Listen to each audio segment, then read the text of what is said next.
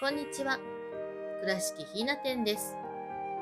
2024年2月下旬、第18回なごみの創作人形、倉敷ひな展が、岡山県の倉敷美観地区にて開催されます。18年目の今回は、全国で活躍している50名を超える人形作家が参加し、創作人形界で長年にわたり活躍されている方を招待作家としてお招きしています。会期中、会場周辺は倉敷ひな巡りのイベント中でもあり、とても賑やかになります。ぜひ、春間近の倉敷美観地区の観光がてら、倉敷ひな店にご来場ください。ご視聴ありがとうございました。